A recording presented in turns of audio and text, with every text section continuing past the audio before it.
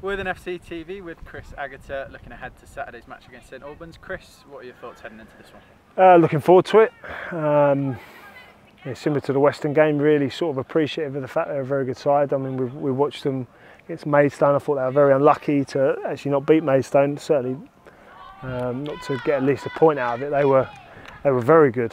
Um, so we realise it's going to be a really tough game. Um, I think they will be one of the best teams in the division. Um, they play some very, very good football. Um, so we, yeah, we appreciate it's going to be a tough test, but we look forward to it.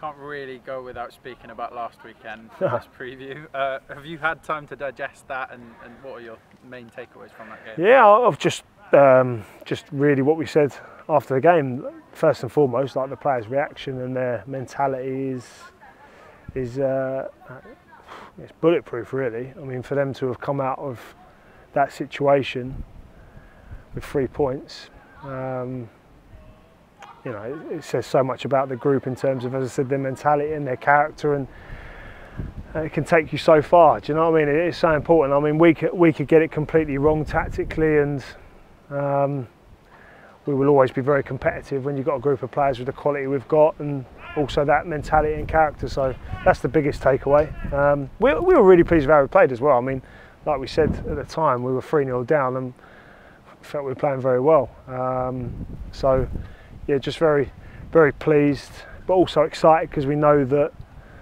you know, we've managed to score four goals in 48 minutes of National League South football and we're nowhere near the team that we will be. So that's, uh, that's exciting moving forwards just how important is that as a result as well? Not just winning on the opening day and getting three points, but the manner in which they, they sort of came came back to win that game. Yeah, like as a reference point in terms of, you know, because we're going to have difficult situations this year, um, and for us to be able to refer back to that and look each other in the eye and look around the room and go, do you know what, we've been in a more difficult place than this before, and we've come out of it with. Um, with three points, I think um, yeah, I think it'll be really important for the group moving forwards and uh, equally buy into what we're doing.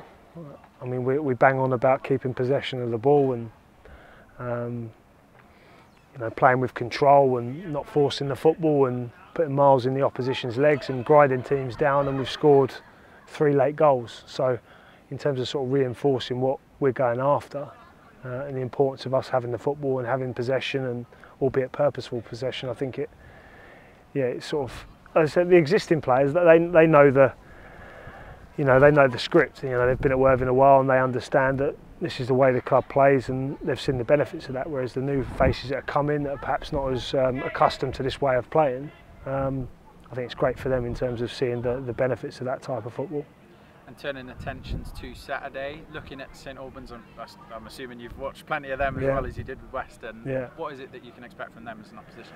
Uh, I think they're, they're as good as anyone in the division. I, I do. I mean, they've got a lot of quality. Um, as I said, they've they play some very good football. Um, yeah, and, and, going back to the Maidstone game that we watched, we, you know, we we felt they were they deserved at least a point in that game. Uh, they were very very good value for at least a point. So um, yeah, we acknowledge it's going to be a really tough test um, and we're really respectful of their threat.